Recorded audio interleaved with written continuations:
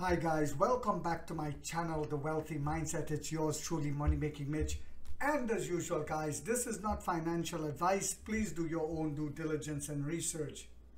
So as Canada stopped its battery factory to make batteries for EVs and slow down the transition into new energy vehicles, just like in America, Ford and GM are slowing down uh, but why is that? Well, there are more than one reasons. One, the ban on importing uh, Chinese materials, materials from China to make these batteries and other technologies has caused the price to skyrocket here in America uh, due to the current administration policy.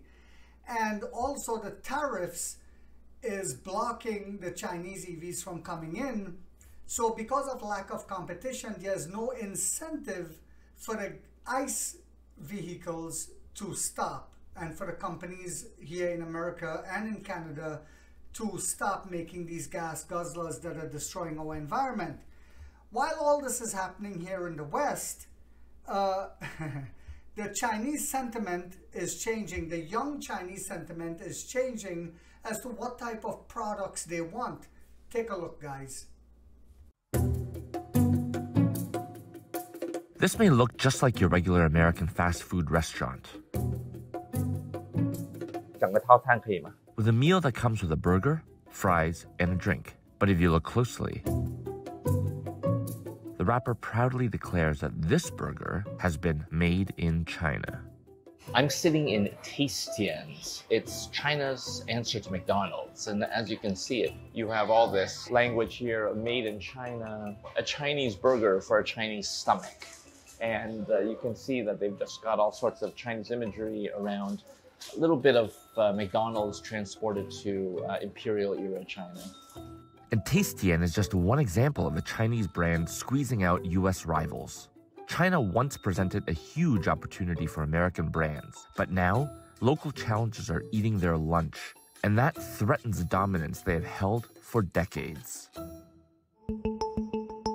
China is the world's second largest consumer market. The country's more than 1 billion shoppers were once seen as an untapped gold mine for Western brands. This is Beijing's premier shopping district, and you don't have to look far to see which companies have taken center stage. There's American brands all around me. Over here, we got Ralph Lauren, Tom Ford, and right behind me is perhaps the best known of all of the brands, Apple. In the first quarter of 2024, Apple saw its smartphone sales fall 19%, while that of its Chinese rival, Huawei Technologies, saw its sales rise 70%.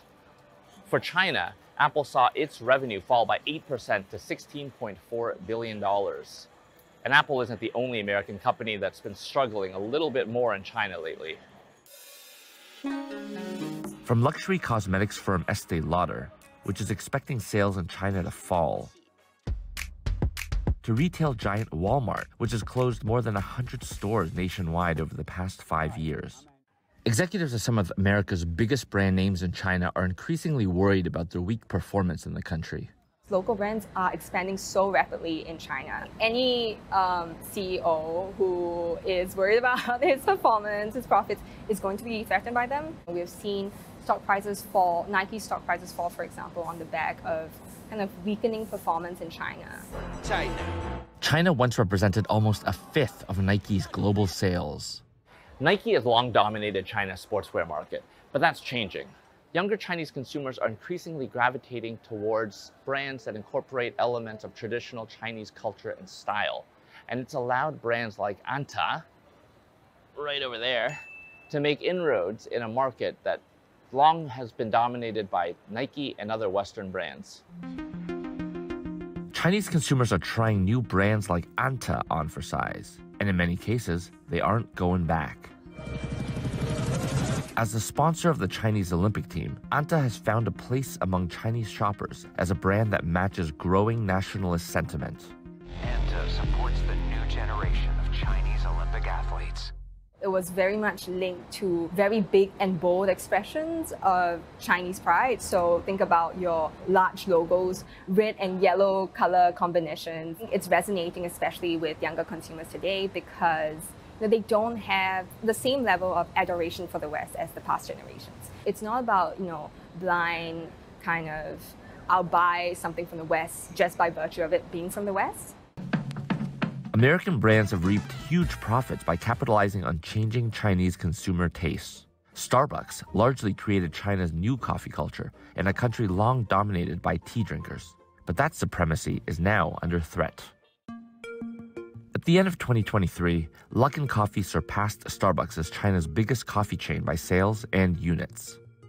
Analysts credit Luckin's success to its operating model, which requires minimal staff to run their branches. Luckin prices its coffee at a sub- Hi guys, welcome back. So when you invest into a company uh, or into companies, you must do your own due diligence and research and to basically phase out the gray noise in the background. Like I said it before, here in the West, the media continuously lies and spread propaganda about why China is uninvestable. China's economy is going down, they say. but yet they grew their economy coming out of COVID, uh, 5 6% in the first quarter of 2024 this year, and is already growing it by another 5% in the second quarter, whilst here in America we owe over $35 trillion now in debt. So while this is happening, we see the young Chinese sentiment changing. A lot of it is because they're waking up and seeing and understanding that the Western brands is not superior anymore. But also they're building national pride, something that is lacking greatly here in the West. I remember wearing a, a polo with the American flag, with the whole and I've worn it here before in one of my videos and I wore it to one of my jobs and they were trying to make fun of me because of it. This is how bad it has become here where we are taught to be ashamed of being an American whereas other countries they are proud of who they are and of their nationality. And this is one of the main things that is harming us here now in America. You know, I was called, oh, you look Captain America. And I said to the guy, I said, well, this country has given me more than my old country. I gotten the opportunity to invest and increase my wealth. now I have rental properties, X amount in stocks, and then they all got quiet. It was a group of them because and then he said to me well we got a one-way ticket. I said no you can actually go now and get a passport and leave if you don't like it. So a lot of it has to do with national pride just like when in, with india now with modi who is building national pride and you'll see the indian econ economy starting to grow because of that. You see less of a brain drain where a lot of indians would leave and go to silicon valley and work in nasa etc., um, etc. Et and now Modi is trying to build a national pride where there's not a brain drain and they're staying at home. But anyway, what has NIO done yet again? Sorry for going off in that rant, guys. But electric vehicle maker NIO launched Wednesday a major upgrade to its operating system. OS in China named Banyan 3.0.0. And again, like we saw, like what I was talking about, the young Chinese are now realizing that their own brands are starting to wake up, the younger generation, especially with the way their um, athletes were treated in the Olympics. But as you see, Olympic uh, Chinese brands are now supporting their Olympic athletes, and that is bringing a lot of awareness, just like with Luckin Coffee, etc., etc. So the OS brings five major upgrades to all the second generation NIO vehicles in China. So NIO said they were, they were going to release this and now they have. While there are over 130 new features that come with this upgrade, NIO splits into five major areas, but there's 130 upgrades. So NIO splits into five major areas. The in-car voice assistant Nomi, digital cockpit AI intelligent chassis, artificial intelligence, right? Nomi is not just a talking fun robot. It's artificial intelligence that is a learning robot, constantly learning. Connectivity and user experience. With this new upgrade, the Banyan operating system users get support for WeChat, mini programs allowing them to access apps on the vehicle infotainment screen. Banyan is NIO's operating system for their vehicles from the NT 2.0 platform on which the sedan's ET7 unveiled in the early 2021. Yes, we have been leading the race for a long time, guys. The ET5 are based on additionally the new versions of the sport utility vehicles ES6, ES7, ES8 together with the Coupe SU7, EC6 and EC7 are also using the second generation platform. And you know, I want to address something a lot of times like when I post my videos on Facebook and stuff like that. Facebook on my personal Facebook page, it says uh, some you this video cannot be viewed because some users find the content to be offensive. So on Facebook, you can find borderline pornography now. Children doing lewd dances, that's okay. But when it's a NIO video, it's not okay. Even on TikTok, when I upload a NIO video, and my channel there is Wealthy Mindset 90, guys. I encourage you all to follow me on there as well, just to bring more awareness to NIO. It's Wealthy Mindset 90. But on TikTok, you can put hashtag to the video that you're promoting. And when I put hashtag NIO, it will not accept it, but it will accept anything else. But anyway, NIO claims that new AI features are also improving the Park Assistant feature and smart playlist generation for optimum user experience.